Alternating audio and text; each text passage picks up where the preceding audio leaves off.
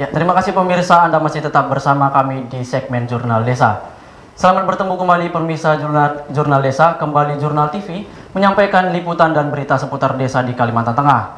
Kali ini berita datang dari Desa Belanti, Kecamatan Pandi Batu, Kabupaten Pulang Pisau. Berikut liputan selengkapnya untuk Anda. Tidak seorang pun yang mau hidup sebatang kara tanpa sanak saudara.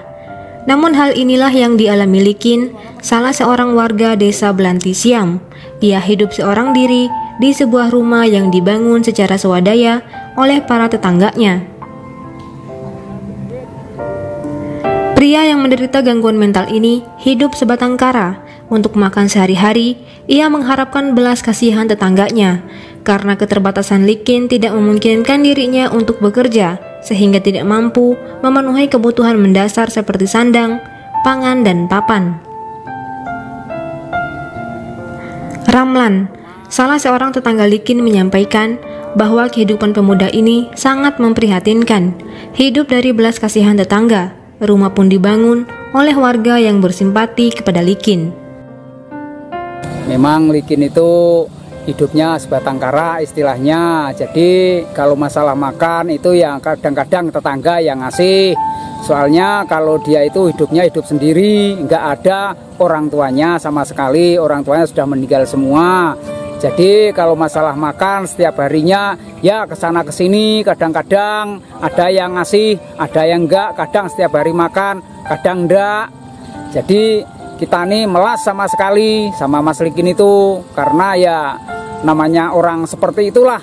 Jadi Mas Likin itu kadang-kadang ya ke sana ke sini main ke sana ke sini tidak mau kerja sama sekali ya adanya ya jalan ke sana ke sini. Pokoknya yang penting mencari makan ke sana ke sini sip.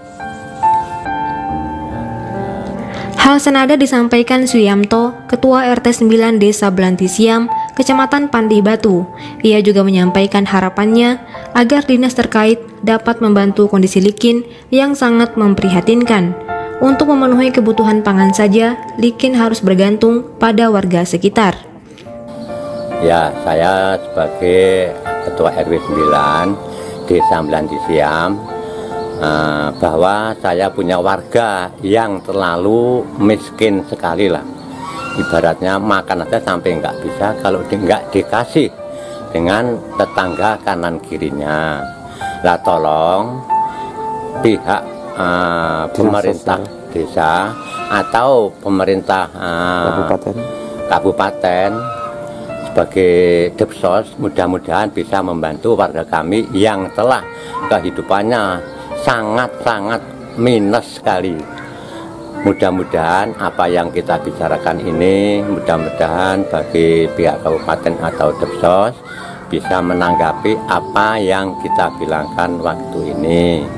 Mudah-mudahan uh, anak tersebut bisa uh, terpelihara yang baik seperti orang-orang uh, tetangga kanan kirinya atau tetangga sejajar anak muda zaman sekarang.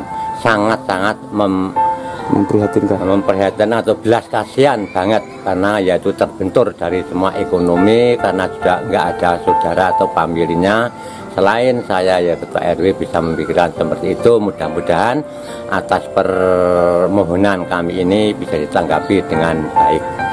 Sekian pada kesempatan yang sama, Budiono selaku anggota Badan Pemusyawaratan Desa BPD Belanti Siang menyampaikan, dengan kondisi Likin yang berkebutuhan khusus ini sangat memerlukan perhatian dan bantuan dari berbagai pihak. Melihat dari kondisi tempat tinggal Likin, ia hanya menyampaikan hanya sebatas ini saja kemampuan warga membantu membuatkan rumah untuk Likin. Mewakili warga, Budiono juga menyampaikan harapan agar warga mereka ini dapat dibantu agar dapat hidup layak. Harapan ini disampaikan kepada pemerintah ataupun siapa saja yang bersedia membantu Likin.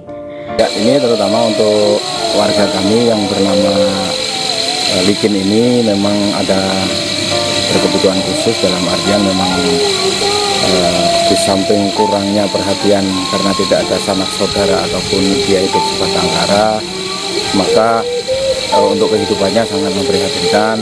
Uh, untuk sementara ini memang untuk makan, untuk segala kebutuhan dari uh, warga masyarakat setempat dalam artian karena dia sering berjalan ke mana-mana ya pada arti pada intinya kalau makan ya kalau pas ketemu dengan orang yang ngasih makan ya dari itulah makannya namun untuk yang menopang sehari-hari yang memperhatikan sanak saudaranya yang saudara sekandung ataupun bapak ibunya sudah tidak ada. Jadi anak ini memang sangat terlantar.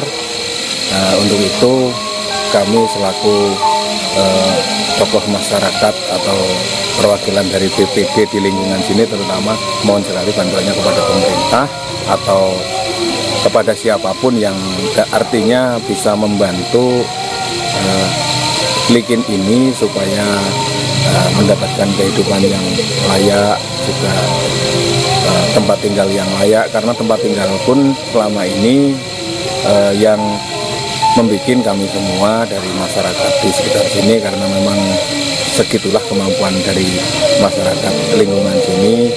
Jadi seperti itulah kemampuan kami. Eh, namun harapannya ke depan kami selaku eh, tokoh masyarakat di wilayah terutama RW 9 Desa Belantisiam ini memohon kepada semua pihak yang kira-kira dapat membantu saudara kita yang mempunyai nasib kurang beruntung ini. Dari Desa Belantisiam, Dio, Jurnal TV.